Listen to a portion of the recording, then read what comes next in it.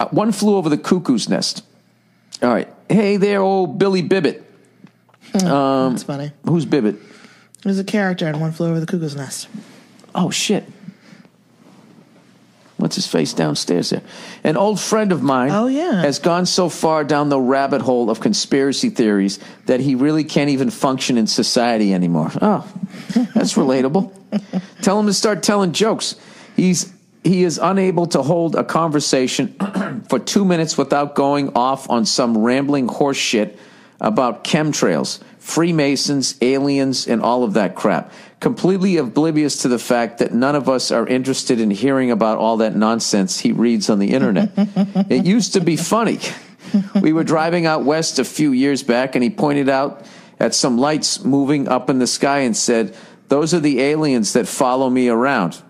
Oh. Oh, this sounds like a mental issue, dude. Yeah, I I said, say. What does that sign on the right said? He said, Airport next exit. And I said, Yeah, those are airplanes, you jackass. and he said, Well, maybe some of them. Wow. He goes, Okay, it's been over a decade of that kind of shit, and it's gotten way, way worse. Because of this obsession and the resulting paranoia, he can't even hold down a menial job, and all of his oh, friends Oh, no. have abandoned ship.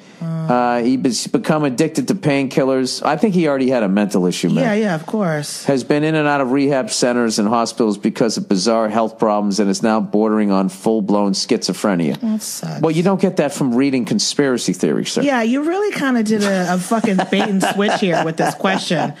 That whole thing in the beginning was just like a red herring. It turns out he's got like serious mental problems. What's a red herring? It's just it's just a distraction. Exactly. Oh. It's something that you think is the cause of, you know, uh, I'm not going to explain it right because I'm tired, but Oh, I got to use that excuse sometimes when I use an expression that I oh Jesus, No, where's my brain- defense? my brain is mush. Oh, Christ. How many points does fucking Aaron Rodgers got to put up, you know? It's like Tom Brady, same thing. How many fucking points does he got to score? You just got you got no defense. Um, I want to respect his right to believe what he wants to believe, but in the end, it has only caused him to lead an increasingly miserable and lonely life that will end in a tragedy and a sparsely attended funeral unless something changes soon. So how the fuck do you bring someone back from so far over the edge? Okay, well, he might be exaggerating a little bit with the maybe he's using schizophrenia as like a fucking filler word there. Like, you know, this guy's a No, narcissist, this, guy's a sociopath. sound- no, but this sounds like paranoid schizophrenia. This is exactly what Oh, it is. Dr. Hill, are you going to diagnose that on this fucking wonderfully well, written considering fucking that email? I had, unfortunately, a member of my family who went through this exact thing, I do feel that I recognize it a little bit. Yes, as a matter of fact, I do. okay, but do you feel like that you can make that diagnosis as someone who is not a doctor, No, of course. is not a comedian, is not even a podcaster? That you can, on a podcast done by a comedian, as not a doctor, diagnose this person that you've never met based on this four paragraph asked email. me to come in here, so I'm giving my opinion. I thought you were going to start a song. You asked me to come here. Are you annoyed that that lady singing about all the ingredients?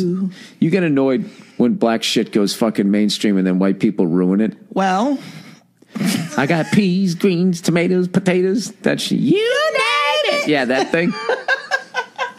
you name it. Um, I swear to God, if if that's what my It had a nice little week long run before everyone else. if that was my if that's what my church was like, I would I would go every week if it was only a half hour long. I still I just can't get into the fucking.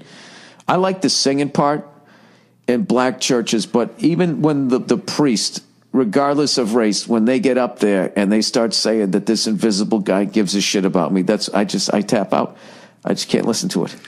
anyway. He wants um, you to have he Jesus Jesus wants you to have that that, back that to second question flat here. screen downstairs. Your friend needs professional help. You're not going to be able. I like Joel Osteen. He's he's a very positive guy. Um, well, you know something. He's been out there long enough that you'd think if there was a scandal, it would come out by now, right? This your friend needs professional help. This is beyond your. Um, this is beyond your pay grade. Jesus, don't shit on the guy. He might have just been being funny just because. no, no, no. I'm not shitting on him. I'm saying that your his friend needs help, and this is not anything that he is qualified to do. So, because he's That's a not much nicer way of saying saying it's beyond your pay grade. Hey, buddy, why don't you get go pick up your broom and keep sweeping up? this is the job of people with lab coats. Wait, um, hold on a second. But what is he? He said like, I respect his right to believe what he wants to believe, but in the end, da, da, da, da. yeah, I don't. I don't even think he necessarily maybe even believes believes it. He's just got. Yeah, he's yeah he's become addicted to painkillers. Has been in and out of rehab centers and hospitals because of bizarre health problems.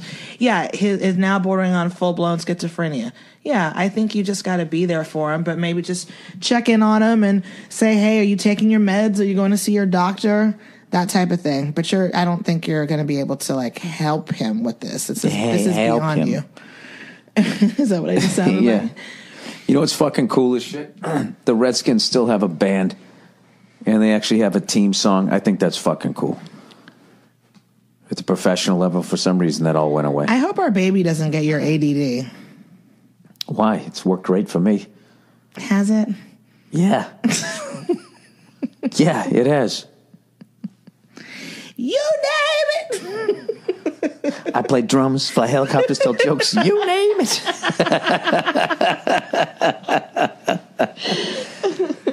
ADD is is a fucking great thing to have. It sucks with some shit, but it's it's it sucks when you're in school and you're gonna do poorly in school and everyone's gonna say you're fucking dumb. But when you get out in the world, man, it's fucking tremendous.